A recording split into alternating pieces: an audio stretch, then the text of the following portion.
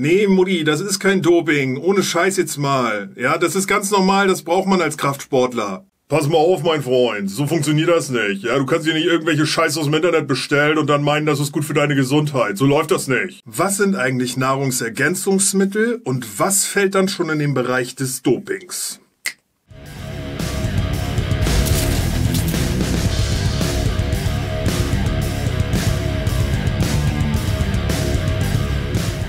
Ja, moin Leute, herzlich willkommen im heutigen Video. Ähm, heute geht's mal darum, der ein oder andere oder die ein oder andere hatte mich schon angeschrieben und meinte, hier, kannst du mal meinen Eltern sagen, dass Kreatin beispielsweise jetzt nicht Doping ist und so. Das läuft wahrscheinlich auf diese Geschichte drauf hinaus, mit diesem Spezialisten, der bei Stern oder Spiegel oder was auch immer für ein TV saß und meinte, Kreatin würde schon in Richtung Doping gehen.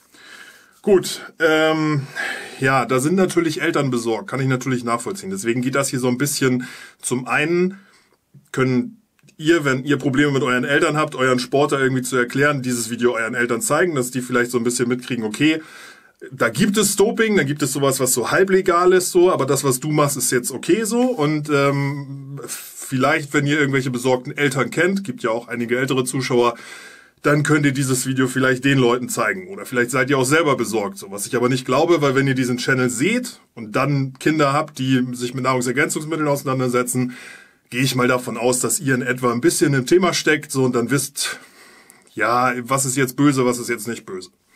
Gut. Äh, ich kann jetzt hier nicht sagen, hier bla ist jetzt, was weiß ich, Animal Pack Doping oder nicht Doping, ist jetzt das und das, sondern ich muss hier kategorisieren und muss sagen, ganz klar, ähm, es kommen jederzeit und ständig neue Sachen auf den Markt. Viel davon ist ähm, Klamauk, also viel irgendwas zusammengewürfeltes und wie sie alle heißen da auf Amazon oder so, Testobol oder was sind dann aufgemacht, äh, ausgemacht, so wie, wie äh, Anabolika und sowas, ist aber nichts drin, außer ja, Firlefanz. Das soll halt dem Käufer suggerieren, es soll sowas ähnliches wie Anabolika sein.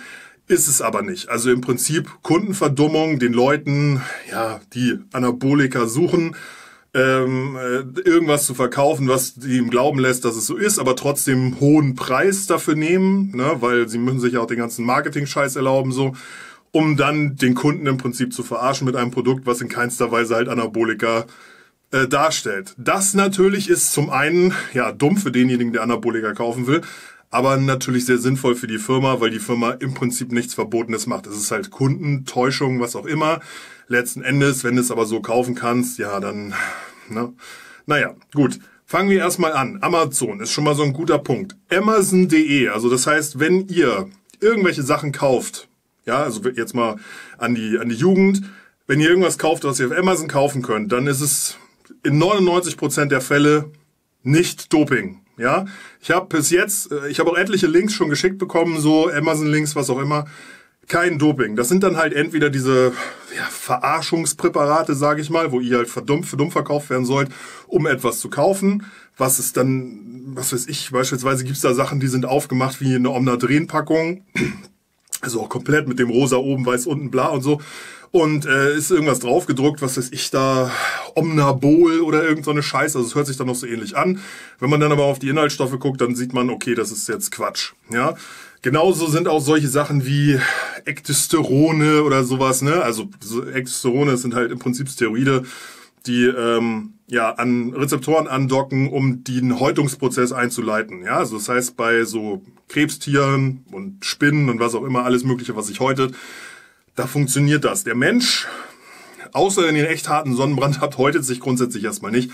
Dementsprechend hat er keine ähm, Rezeptoren dafür und es ist dann Firlefanz wieder. Ja, also da wird wieder gesagt, oh, hier anaboles Hormon aus der Natur gefunden, wir haben es jetzt ne, und jetzt könnt ihr es kaufen. So, das ist halt dann auch wieder im Prinzip Kundenverarschung mit irgendetwas, was im Prinzip in der Tierwelt funktioniert, bei uns aber nicht funktioniert. Also da müsst ihr auch irgendwie keine großartigen Gedanken um eure Kinder haben oder dass ihr versehentlich irgendwas konsumiert, was irgendwie gefährlich ist. Ähm, also, so solche Sachen. Amazon, was auch immer. Wenn ihr jetzt ja safe sein wollt, sage ich mal in Anführungsstrichen, dann könnt ihr natürlich Kölner Liste nachschlagen. Das ist äh, ja ist so ein Ding, wo sich halt ja es ist ein in Anführungsstrichen Gütesiegel, wo sich jemand einkaufen kann äh, der halt viel Geld dafür bezahlt, dass sein Produkt getestet wird und dann zahlt er noch mehr Geld dafür, dass er anderen Leuten auch sagen darf, dass das auf der Kölner Liste ist und dass er, wenn er es auf die Packung drucken darf, dann kostet das alles noch viel mehr. Dementsprechend teuer ist dann das Produkt. Also das heißt nicht jetzt, wenn ein Produkt jetzt nicht auf der Kölner Liste steht, dass es automatisch voll mit Doping ist. Das ist jetzt kein gemeinnütziger Verein, der der Welt helfen will, sondern das ist halt im Prinzip auch ein Unternehmen, was Leute, ja, ja, Geld sich für eine Dienstleistung bezahlen lässt, damit andere Leute wissen, okay, das ist jetzt dopingfrei. Ähm, dementsprechend, wenn ihr da auf Safety Safe gehen wollt, guckt Kölner Liste, ja, und dann äh, kauft ihr das und dann könnt ihr auch sagen, hier Kreatin ist kein Doping, dies und das so.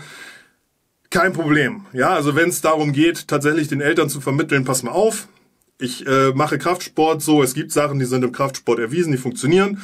Das sind unter anderem natürlich Muttis gute Ernährung und da sind wir auch bei, bei, bei Punkt eins so, das Anabolste, was ihr in euren Körper stecken könnt, ist erstmal Nahrung, weil ohne Nahrung passiert da gar nichts. Ja, dementsprechend ist es wichtig. Mikronährstoffe, damit solche Sachen in eurem Körper funktionieren. Weiter geht's dann in den Bereich so Kreatin. Ja, Kreatin, jetzt alle immer so, wow, nach dieser Fernsehserie, äh, die da ausgestrahlt wurde. Also, es gibt eine Studie irgendwo in nirgendwo, ja, also drüben in den Staaten, wo irgendwelchen jungen Footballspielern Kreatin gegeben wurde und da wurden die DHT, also die, die Dihydrotestosteronwerte gemessen. Die sind kurzfristig angestiegen, sind dann wieder abgefallen. Also das heißt im Prinzip, ja, da kommt dieser Doping-Gedanke her. Das ist aber Nonsens, ja, denn letzten Endes flaut der ganze Scheiß nachher wieder ab. Woher kommt das? Wenn du jemanden, der irgendwie noch nie irgendwas gegessen hat, ja, also irgendwie gesund gegessen hat, die ganze Zeit nur Rindfleisch reinscheuern würdest, ja, dass er auf die gleichen Mengen Kreatin kommen würde, wie als würdest du das Kreatin supplementieren, dann hättest du den gleichen Effekt. Ist halt einfach der ganze Gedanke dahinter so, der Körper kriegt jetzt Baustoffe, Baustoffe, Baustoffe, Baustoffe, Baustoffe. Unter Umständen ist in den Baustoffen, also wenn du dem jetzt Fleisch gibst, sind vielleicht noch irgendwelche Hormone oder was enthalten, ne? was die Leute ja auch immer sagen. Ja, im Fleisch sind so viel Hormone. In Fleisch sind möglicherweise unter Umständen vielleicht ganz selten Hormone drin. Ja, wenn das so im, im äh, Handel ist. Müssen wir uns auch nichts vormachen. Wenn wir das aber erhitzen, dann ist der ganze Firlefanz tot. Wenn wir das dann essen und uns nicht spritzen, weil im Normalfall isst man Fleisch und spritzt es sich nicht, dann muss der ganze Mist erstmal nochmal über die Leber und dann sagt die Leber, was da noch vom Erhitzungsprozess oder wenn ihr, was weiß ich, Tatar esst oder sowas, was davon übrig geblieben ist, so das wird sowieso nicht reingelassen. Also, alles gut, ja. Wo wir aber mal aufpassen müssen, sind solche, ja, ich sag, ich nenne sie mal Untergrundshops. Und das geht jetzt auch an die Eltern. Da müsst ihr jetzt mal ein bisschen, äh, ja, das wollen jetzt wahrscheinlich einige Kinder ihren Eltern nicht zeigen. Ähm, ist aber leider so, dass man natürlich sagen muss, es gibt darunter auch schwarze Schafe. Und das ist der Punkt, wo ich immer wetter und wo ich mich aufrege, es sind Prohormone, Sams, äh, diese ganze Firlefanz, was alles in, in Anführungsstrichen, ja, was heißt nicht, nicht mal in Anführungsstrichen, was einfach nicht getestet ist, was für den Humanmarkt nicht zugelassen ist, was unter Umständen aufgrund der vielen Nebenwirkungen nicht für den Humanmarkt zugelassen wurde und so weiter und so fort. Der ganze Scheiß wird von ganz ekelhaften Personen illegal im Internet vertrieben. Ja, das wird produziert und verkauft. Und dadurch, dass es nie im Arzneimittelmarkt zugelassen wurde, ist es kein Verstoß gegen das Arzneimittelgesetz. Da hat jetzt einfach nur irgendwer irgendwas zusammengepanscht. Wenn wir es auf die Stufe treiben wollen, wo es noch ganz interessant wird, dann schreiben wir noch rauf for research äh, purposes only. Also das heißt nur für Forschungszwecke. Und damit kann ich im Prinzip alles verkaufen. Ja? Dann sind wir natürlich bei dem Punkt so, wenn ihr sowas in eurem, in den Kinderzimmern oder in den Zimmern eurer Kinder findet, so, dann äh, solltet ihr da vielleicht mal ähm, das ein oder andere Wort miteinander reden. Ja. Ähm, letzten Endes ist es so, Prohormone, wie kann ich Prohormone rausfinden? Ihr nehmt einfach den Begriff, der da draufsteht, das ist dann meistens 17 Alpha Andro irgendwas bla bla bla und googelt das. Und wenn der irgendwo in den Anführungen, also in den, in den Links, die bei Google rauskommen, irgendwas mit Prohormone DB kommt, ja, also ist Prohormon Datenbank, dann müsst ihr euch vielleicht mal draufklicken und dann müsst ihr euch mal durchlesen, was da steht. Und dann wisst ihr, was bei eurem, bei eurem Kind im Kinderzimmer zu Hause steht. Nächster Schritt sollte dann sein, nicht hier böse, böse, du, du, du hast du nicht gesehen, sondern erstmal drüber reden, warum wird das denn konsumiert und wo haben sie es her. Der nächste Schritt dann sollte sein, dieses äh, ja, Unternehmen oder diesen Shop oder wer auch immer, der das eurem Kind veräußert hat, anzuzeigen. Klipp und klar, man muss einfach sagen, das ist, ja, im, im Worst Case ist es halt wirklich eine schwere Körperverletzung, weil du jemanden mit äh, einem ja, Medikament, was kein Medikament ist, weil es nicht zugelassen wurde oder nie zugelassen wurde, einfach schädigst und billig in Kauf nimmst, dass ein Kind sich damit lebenslang ja seine Hormoneachse, also im Prinzip seinen seinen äh, Hormonhaushalt zerstört oder ja kaputt macht im Prinzip dadurch, dass es dann halt ja, wenn du in der Pubertät bist und deine Hormonlevel gerade am Einschwingen sind und du dann von außen ordentlich reinkesselst, so, denn letzten Endes auch Prohormone, auch wenn sie nur Prohormone heißen, sorgen letzten Endes im Körper dafür, dass sie zu Hormonen werden. Das ist so immer der grundlegende Faktor. Und dann hat das natürlich einen Einfluss auf die körpereigene Hormonproduktion. Äh, wenn du jetzt gerade in so einem Einschwingprozess bist, das heißt so in so einem Kalibrierprozess, Justierung, ne, der Körper versucht sich da erstmal rauszufinden, wo wollen wir denn hin? Welcher, welcher Bereich ist denn für mich jetzt gesund? Welcher ist ungesund? Ne? Wir kennen das ja, Pubertät und hier ein bisschen da Stimmungsschwankung, dies, das und so. Dann äh, ja, ist das vielleicht nicht so gut, wenn man da dann einfach mal mit der großen Hormonkanone von außen reinfeuert. Das ist auch der Grund, weswegen ich sage, hey, werdet erstmal 25. Vorher habt ihr sowieso genug Testosteron zur Verfügung. Ja, ihr seid im Aufbau, ähm, um vernünftig aufzubauen. Und dann mit 25, wenn ihr dann immer noch meint, ihr müsst irgendwie nachhelfen oder was auch immer, dann informiert euch so und dann, ja, letzten Endes, je öfter du es verbietest, desto mehr steigt der Drang natürlich dazu, es zu machen. Dementsprechend guckt euch die Nebenwirkungen an und wenn ihr dann immer noch sagt, ja, das will ich mir antun, ja, ist das eure Sache. Ja, seid ihr alt genug, alles ist gut, alles ist eingeschwungen. Die Reversibilität der Schäden wird, ja, besser. Das heißt, die Möglichkeit, dass man danach wieder ein geordnetes Leben führen kann, ist höher. Ja, wenn du das in der Pubertät machst, ist es nicht so gut. Ähm, ja, und da muss man dann halt quasi einfach mal mit den Kindern reden, ja, und dann sagen, ey, Leute, äh, das, was ihr da macht, ist jetzt nicht so klasse. Letzten Endes sich auf Stern TV oder auf Spiegel TV oder was auch immer das war zu verlassen und zu sagen, Kreatin ist böse, ist Quatsch. Es gibt in diesem Sport einige Sachen, die funktionieren. Eiweiß, wissen wir alle, ja, brauchen wir irgendwie über die Nahrung, funktioniert. Unter Umständen halt auch als Pulver. Ob das jetzt ein Whey ist, ob das ein Reisprotein ist, was weiß ich. Keine Ahnung. Ja, aber das ist immer was, ja, der das, das ist der Einstieg, sage ich mal. Ne? Also damit kann man dann sagen, okay, ich äh, will jetzt Fitnesssport betreiben. Andere Leute, die, was weiß ich, äh, Hobby fliegen oder hier, wie heißt das da, Hobbyflug, was auch immer, ja, Bastler, Menschen so, die brauchen dann neue Servomotoren, die brauchen dann Rotoren, die brauchen eine neue Fernbedienung, was auch immer. Der Sportler an sich braucht neue Schuhe, neue Klamotten, äh, neue Trainingsgadgets und äh, Supplemente. Ja, sind so halt einfach Sachen, die gehören da irgendwie dazu. Wirklich brauchen tut man sie nie. Ja, also, Eiweiß ist der erste Punkt. Kreatin ist dann das nächste Ding, so der nächste Schritt, den man dann halt im Prinzip gehen soll. Da müsst ihr euch auch nicht stressen, liebe Eltern. Kreatin ist im Prinzip was, was ganz normal in rotem Fleisch vorkommt, ja. Wird in eurem Körper im Prinzip dazu gebraucht, ja, äh, Phosphat zur Verfügung zu stellen. Guckt euch dafür vielleicht mein Kreatin-Video an, dann wisst ihr genau, was Kreatin macht, wofür das da ist äh, ATP, ADP-Generation, also das heißt von ADP, Adenosindiphosphat, in ATP ein Phosphat ranhängen, also von Diphosphat auf Triphosphat kommen. Das heißt, wir brauchen irgendwo dieses Phosphat. Genau das ist das äh, Kreatin. Kreatinmonohydrat sorgt dafür, dass es quasi dieses Phosphat im Körper hält, was dann gebraucht wird, damit von der energieschwachen Form auf die energiereiche Form wieder zurückzukommen. Das heißt, dass man mehr Power im Training hat. Hat mit Doping nichts zu tun, ist auch in jedem normalen roten Fleisch drin. Also kein Stress deswegen bei allen möglichen Sachen, die sich als Wachstumsbooster, dies, das und sowas schimpfen. Echt. Guckt nach, ob ihr es auf Amazon kriegen könnt. Ansonsten, wenn da hinten drauf so ein komischer, wirrer Begriff steht, das Ding einfach mal googeln. Wenn sich das rausstellt als ein Prohormon oder ein SARM oder was auch immer, selektiver Androgenrezeptormodulator, dann mal genauer hinhören, mal mit dem Kind oder mit dem Jugendlichen oder was auch immer, mit eurem Kind halt einfach ins Gespräch gehen und sagen, ey, Digga, was ist das her so? Ist vielleicht nicht ganz so geil ich habe da was auf YouTube gesehen von diesem Gogo, vielleicht kennst du den ja. Äh, ja, ähm, bringt nicht so viele Vorteile, bringt einen Haufen Nebenwirkungen, auch wenn alle immer sagen, es bringt nur Wirkung und keine Nebenwirkung. Jeder, der ein bisschen länger auf dieser Welt ist, weiß, dass jede Wirkung eine Nebenwirkung nach sich zieht. Daher auch mein Motto, keine Wirkung ohne Nebenwirkung. Und da muss man halt auch klipp und klar sagen, ja, diese SARMs sind noch nicht getestet. Die sind nicht frei an dem Menschenmarkt verfügbar. Genauso wenig wie es die Prohormone sind.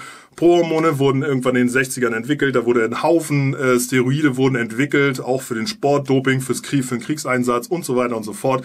Und da hat man sich dann gesagt, okay, nee, das hat zu viele Nebenwirkungen, das, nee, das hat zu wenig Wirkung, das brauchen wir nicht, das brauchen wir nicht. Und genau diese Sachen werden jetzt rausgesucht von irgendwelchen, ja, dubiosen Firmen, ja, und äh, die produzieren das, stecken das in eine Kapsel, packen das in eine Dose und verkaufen das quasi an Kinder. Und äh, ja, der nächste Punkt, was dann im Prinzip die nächste Stufe wäre, wären Steroide so. Aber da, das würdet ihr sofort merken im Prinzip, wenn euer Kind sich Steroide reinknallt. Da würdet ihr eine sehr, sehr drastische Veränderung im Verhalten, äh, in der Optik, in allem möglichen äh, ja, feststellen. Und äh, ja, so schlimm das klingt, da muss man dann, ja, ich will da keine Ratschläge geben. Ich persönlich würde drüber nachdenken. Ich wüsste nicht wirklich, wie ich mit meinem Kind umgehen würde, wenn es schon so weit ist. Ja, weil da muss ich im Vorfeld schon relativ viel ja, mich nicht um mein Kind gekümmert haben oder nicht viel, nicht diesen Bezug zu haben, dass es dann, dass mir dann auf einmal auffällt, dass es anfängt zu stoffen. Ja, also das äh, normalerweise passiert sowas auch nicht in den ersten zwei, drei Wochen, wenn Kraftsport anfängt, sondern normalerweise ist der Schritt, die Überwindung dahin zu gehen, ist dann halt schon ein bisschen größer.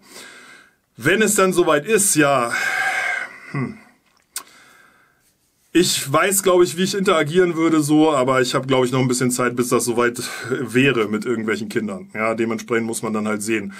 Da seid ihr dann halt gefragt und alternativ. Ich glaube, dagegen anzureden ist in dem Moment nicht mehr förderlich. Ich glaube, das bringt nicht mehr viel, weil dann ist es ja schon soweit. Äh, da wurde wahrscheinlich sehr viel Geld für ausgegeben im Hintergrund. So, ähm, ja, da kann man sich dann nur angucken, was konsumiert mein Kind dann da, dann vielleicht ins Gespräch gehen, drüber nach, also drüber rausfinden, was sie konsumieren, wie viel sie davon konsumieren, was das dann für Schäden habt. Auch dafür habt ihr alle möglichen äh, Präparate auf meinem Channel, wo ihr euch darüber informieren könnt, was da passieren kann. Ähm, Nochmal, es muss nicht alles passieren, es muss nicht immer zu den schlimmsten Nebenwirkungen kommen, aber es gibt definitiv Leute, die haben diese Nebenwirkungen und man selber weiß immer nicht, was für einen selber passiert. Dementsprechend, ja, dann darüber informieren. Denn je mehr man weiß, desto mehr kann man wahrscheinlich auch auf einem Level dann interagieren und mit jemandem drüber reden. Ja, bloß nicht hingehen von oben herab und du musst und du darfst nicht und so. Das wird in einem, ja, jugendlichen Kopf einfach nicht so ankommen. Denn man sieht ja dann, man hat die Erfolge, man hat, ja, was weiß ich, da unter Umständen noch diese, ne, diese, diese Fantasie, man möchte aussehen wie einer von diesen Fitness-YouTubern. Toll, ne, Strandkörper, dies, das und so.